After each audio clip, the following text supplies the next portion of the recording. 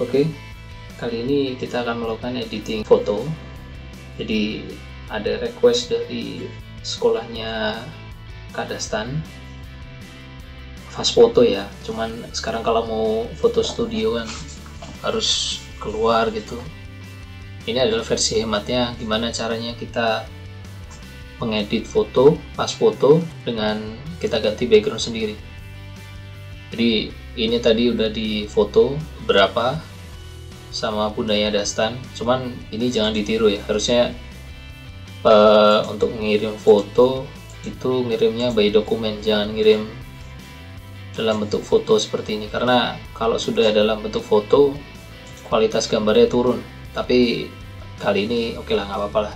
Ini hanya untuk sebagai contoh aja. Supaya kita tahu gimana sih kita mengedit foto dengan aplikasi editing Nah, tapi aplikasi editing kali ini kita tidak menggunakan kayak Photoshop atau mungkin aplikasi-aplikasi yang berbayar lainnya. Kita pakai aplikasi open source. Aplikasi namanya Jim. Dulu saya sering mainan Jim ini sebagai pembelajaran saja karena kalau membajak itu kan nggak bagus ya. Jadi sebisa mungkin kita harus legal. Apa aja yang terinstall di PC kita haruslah yang halal supaya ke depannya mendatangkan manfaat. Nah, kira-kira seperti itulah.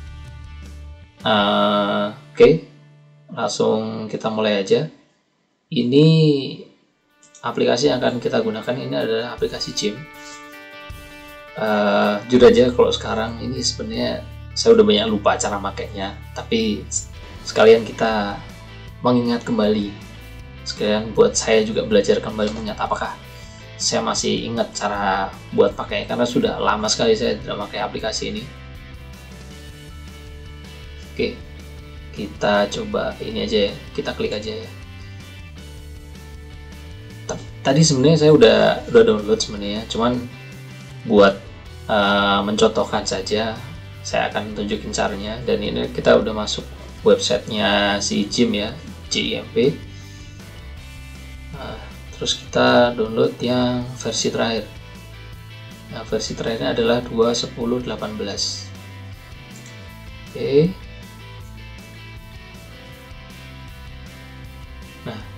kira-kira nanti teman-teman bapak ibu downloadnya yang sebelah sini nih. Nah ketika nanti sudah berhasil di download nah, maka akan jadi file seperti ini. Cukup kecil ya 171 mega. Oke langsung coba kita install aja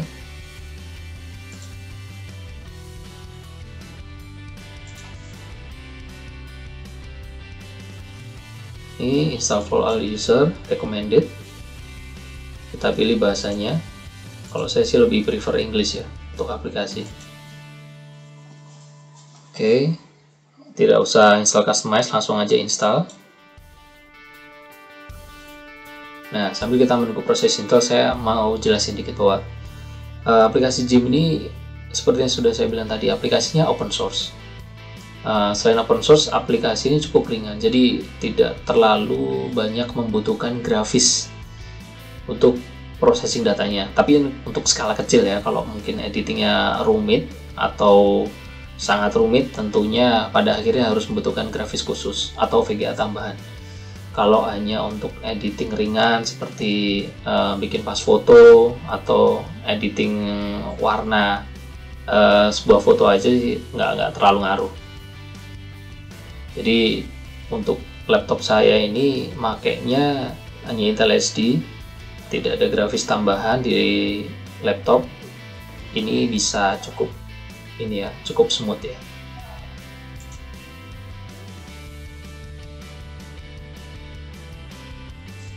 Oke, nanti kan saya percepat aja. Oke, kalau udah selesai, kita tinggal klik finish setelah itu kita buka aplikasinya. Mengapa saya tunjukin pakai ini pakai Jim Jim itu open source. Dan saya dulu adalah penggiat uh, komunitas open source di Jogja. Jadi ya kenapa tidak saya berbagi sesuatu yang baik buat teman-teman semua buat bapak-bapak ibu semua.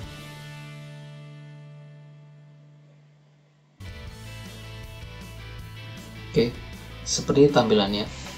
Jadi untuk tampilannya sendiri teman-teman bisa lihat di sini. Mungkin uh, bagi yang sering pakai Photoshop familiar ya, hampir sama.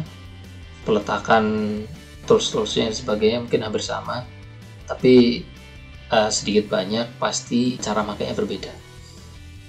Cuman kembali lagi ini adalah aplikasi open source. Open source itu ya gratis buat kita.